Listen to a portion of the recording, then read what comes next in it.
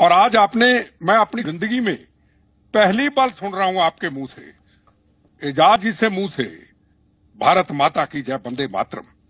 मुझे एजाज इंजीनियर को देखते हुए मुझे बचपन के दिनों की याद आई, जब पंजाब के अंदर आतंकवाद था, जब आतंकवादी कहते थे, अगर कोई इलेक्शन लड़ेगा, बिट्टा इलेक्शन लड़ेगा तो बम्बों से उड़ा देंगे, जो वोट डालने जाएगा उसके हाथ काट देंगे। और जो बंदे मातरम बोलेगा, गोलियों से उनको छाननी कर देंगे। और बड़े लोग शहीद हुए, गोलियाँ बम सबने हमने खाए। पर इजाज जैसे इंजीनियर, ऐसे कार्यकर्ता बीजेपी से निकल आए।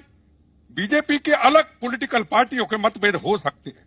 पर भारत माता की आवाज़ और बंदे मातरम की आवाज़, अमन जी, आपने एक शुरुआत करा दी, आपका बहुत बड़ा रोल है। बंदे मातरम, भारत माता की जय। तिरंगा झंडा ही हमारे लिए शक्ति ताकत है। और मैं आपको स्पष्ट कह दूँ ये 370 धारा को बहुत गहरी चोट पहुँची है।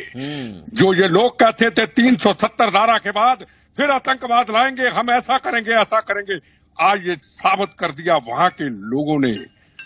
वहाँ की आम जनता ने साबित कर दिया कि ये है लोकतंत्र ये है शक्ति ये 370 धारा तो पहले की पॉलिटिकल पार्टियाँ जितनी भी रही जो मज़े लेती रही देश के नाम के ऊपर जो हिंदू मुस्लिम सिख ईसाइयों के खून कपस पसीने का हिंदुस्तान का पैसा जम्मू कश्मीर में गलत तरीके से इस्तेमाल करते रहे।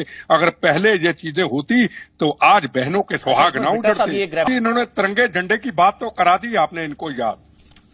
और महबूबा मुफ्ती की बात भी याद करा दी। इन्होंने दो चीज़ें और कही। हमारे हज़ारों कार्यकर्ता शहीद हुए। हमारे पुलिस के जवान शहीद हुए। फौज के जवान का नाम नहीं लिया, इन्होंने कोई बात नहीं। इनको ये मैं पूछना चाहता हूँ एक सवाल। जो शहीद हुए आपके जवान, या शहीद हुए आपकी पार्टी के कार्यकर्ता, वो किसने मारे थे? इतना जवाब दे दे। क्या वो आतंकवादी थे या नहीं थे? क्या बराक बानी जैसे लोग थे या नहीं थे? ये एक सवाल पूछ के सबके सामने ले आइए कि वो मारे किसने थे। पुलिस ने तो नहीं मारे थे। अच्छा मेरे साथ वो आतंकवादियों ने मारे बड़ा, बड़ा इनके मुँह से आतंकवाद का एक लफज तो निकाल सवाल पूछ सवाल का जवाब होगा नहीं शायद।